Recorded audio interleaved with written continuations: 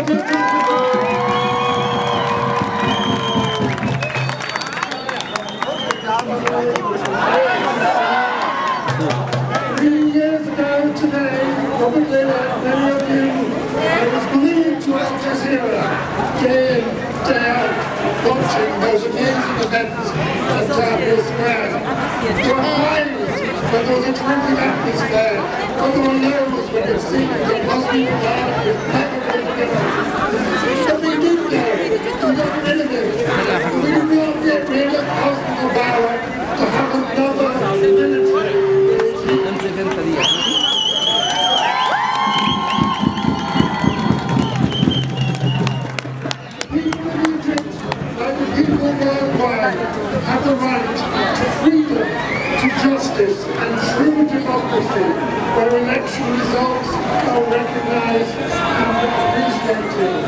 And it is essential that we move to a situation where people in Egypt can express their opinions without fear, that they will not be sent to prison for demonstrating, that they will be able to vote for who they wish to vote for, and not who they're told they're allowed